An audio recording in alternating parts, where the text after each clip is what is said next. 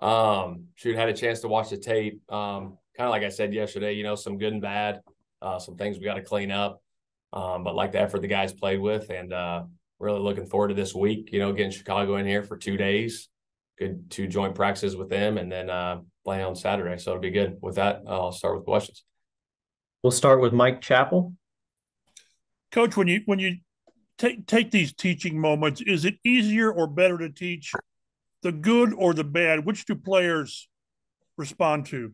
I think it's a little bit of both. Uh, obviously, the corrections are the biggest piece. You got to clean up what needs to be cleaned up. You know, there's always little things throughout the game, um, alignment stuff, technique stuff, um, but get those corrections uh, taken care of first and foremost. But obviously, praise them when they do a good job. You know, it goes both ways. It's the accountability part of it, um, and and we learn from those things. We grow from them, uh, coaches and players. In, in that regard, uh, after video review what was your impression of uh, Anthony? Uh, similar to what I said after the game, you know what I really liked is the poise he had, um, the command he had. You know, you throw an early interception, how's he going to respond to that? And uh, I thought he responded tremendously. Came back, he had two good drives. Um, I thought I thought he did a really nice job for his first time out.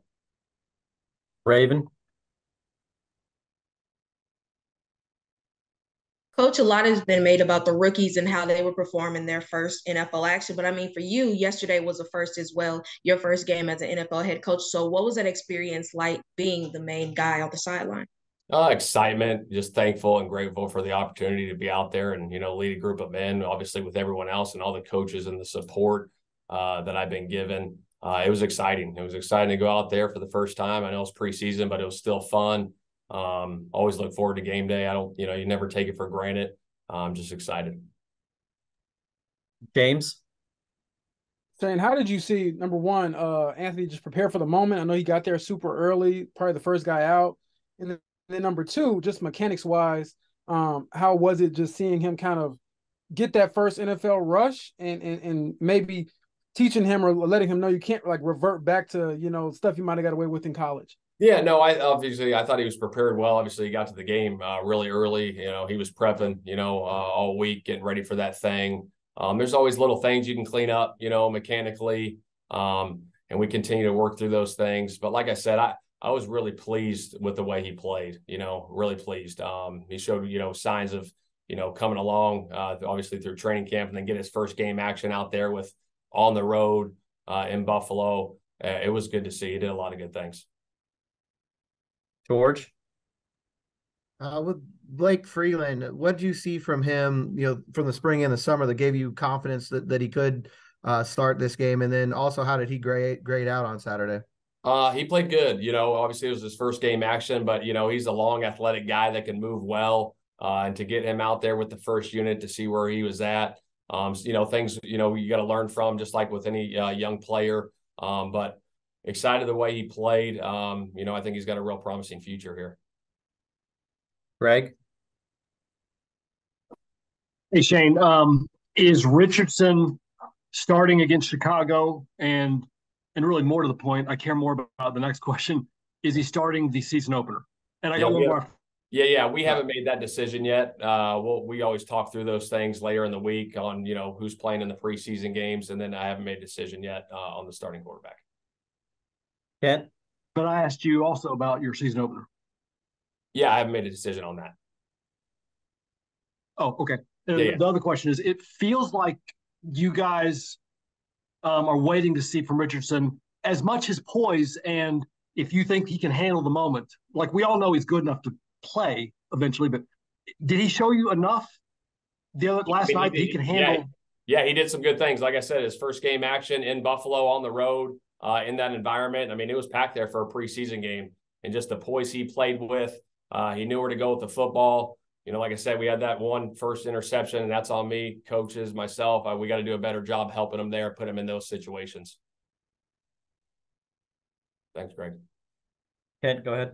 Hey, Shane, uh, with the interception, Isaiah during the TV broadcast claimed responsibility that it wasn't on Anthony. Anthony claimed responsibility. You're claiming responsibility.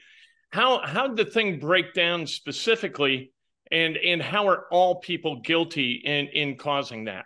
Yeah, I think that you know communication. It starts myself coaching. You know, putting them in those situations. You know, we had a run called, and they brought an edge pressure that we, you know, we got to have an answer for, and we had we just had a little miscommunication there, and we got to put them in those situations and practice more.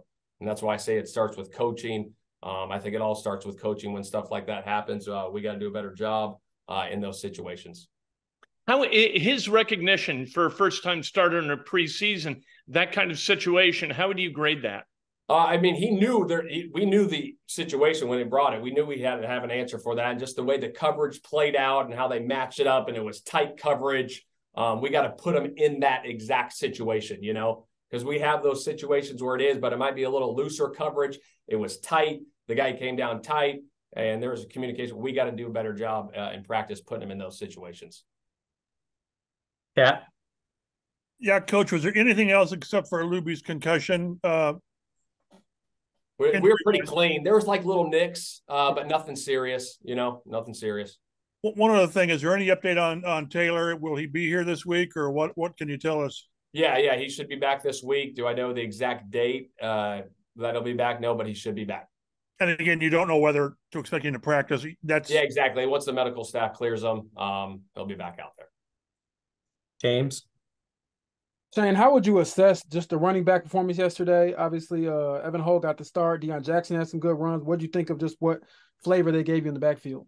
It was good. It was a little bit of, you know, I thought Deon did a really nice job. Um, he had some big runs. You know, we had one an outside zone that he popped, and the hole got kind of jammed up, and then he bounced around the edge, made a big play. Thought he ran physical, did a good job. And then Evan, his first game action out there, you know, I thought he did a nice job, caught a little screen, uh, hit one for, you know, a good 15 yard gainer, 10 or 15 yards.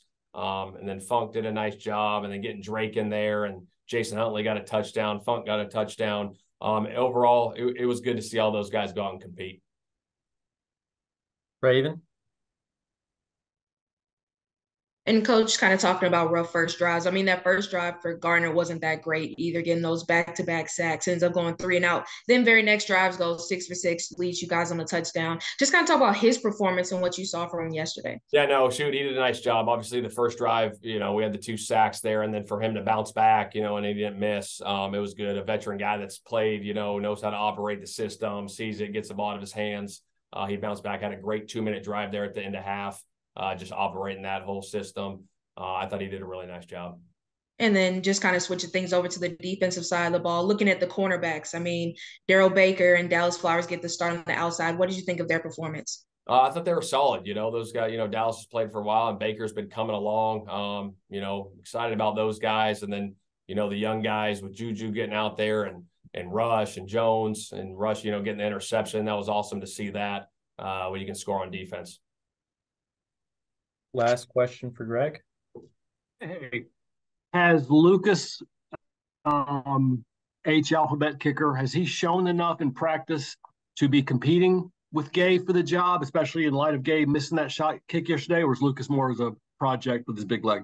Yeah, yeah, we're just we're, Lucas came in, you know, obviously give us some depth there. You know, Matt is our kicker, um, but you know, like Luke, Lucas's ability, um, you know, he can shoot, he can even punt if we need him to. But uh, I, like Lucas, like where he's at. Uh, obviously, those guys know, you know, we got to be better there uh, in those situations kicking, but uh, excited about both those guys.